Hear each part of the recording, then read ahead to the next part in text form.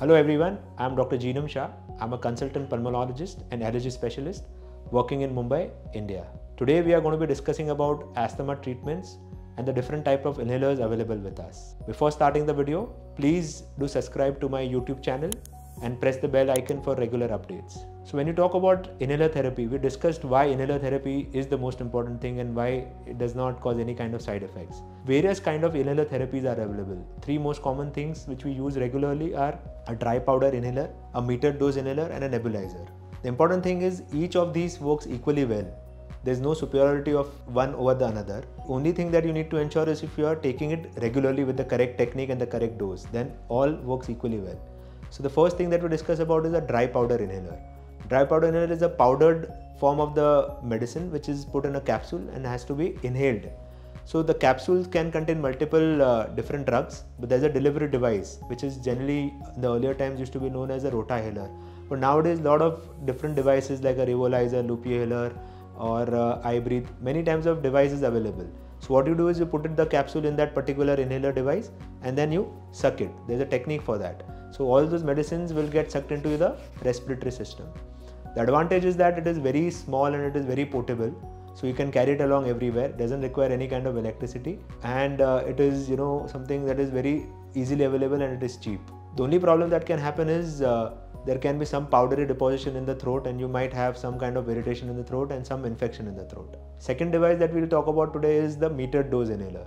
Those are devices which you commonly see which are pumps which has to be sprayed. So what happens is if you put it in the mouth and you spray it and when you take a deep breath all those things goes inside the lungs.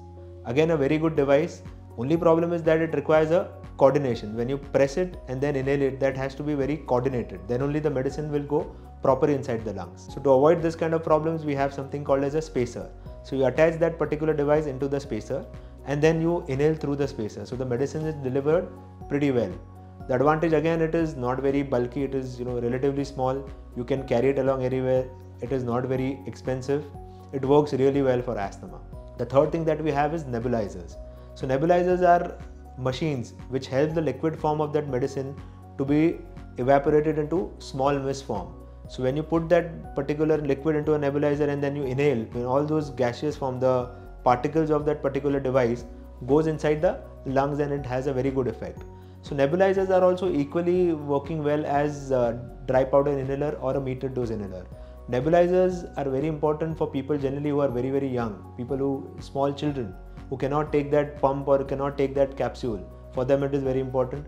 For people who are not having good coordination of pressing it for elderly people generally who are not able to take it properly, for them also nebulizer work really well.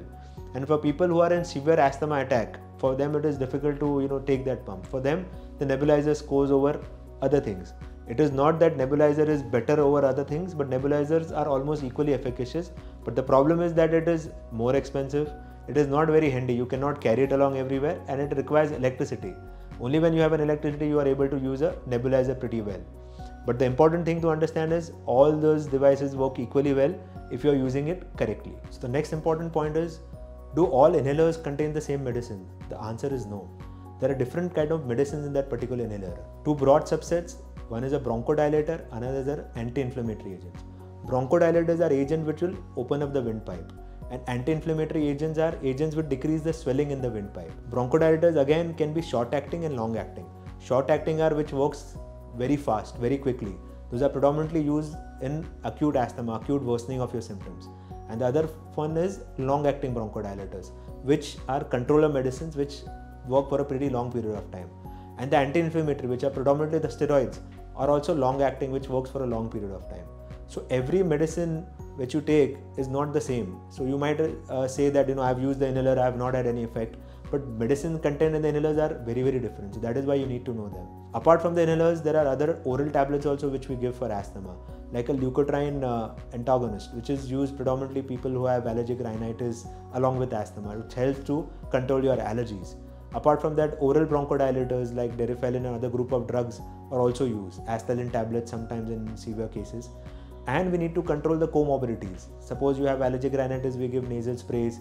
Uh, apart from that, if you have acute worsening because of infection, then we give antibiotics and all those agents. So today we learned about uh, different types of inhalers, the different contents and the medicines which are available in the inhaler format. If you find this video informative, please share it with your friends, family, colleagues, near and dear ones, and especially for people who are suffering from it.